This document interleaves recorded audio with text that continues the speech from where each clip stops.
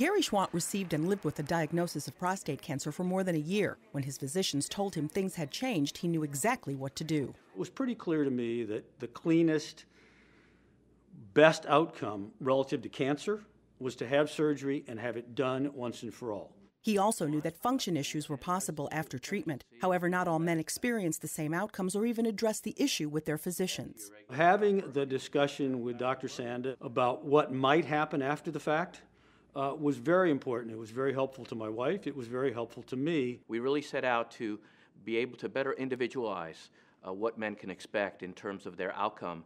Dr. Martin Sanda from Beth Israel Deaconess Medical Center and co authors studied 2,600 men nationwide, evaluating their sexual quality of life before and two years after prostate cancer treatment. Could you fill this out for sure. us, please?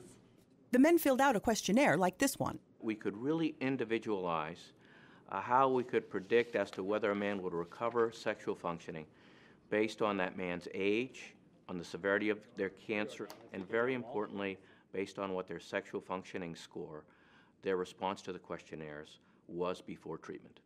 The study appears in this week's JAMA, Journal of the American Medical Association. Men who might be younger or may be on the more favorable end of having excellent functioning before treatment might expect a 70% or higher prospect for recovering their sexual functioning to that level. Researchers also say men experiencing sexual function problems before treatment or those with more severe cancers may be looking at less favorable percentages. Looks like things are uh, really right on track in terms of what we'd expect at this point in time. And I think our study highlights that issues related to sexuality can be brought on the table.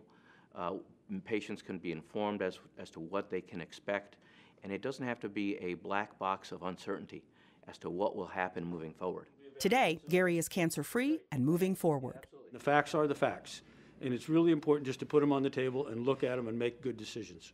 Catherine Dolf, The JAMA Report.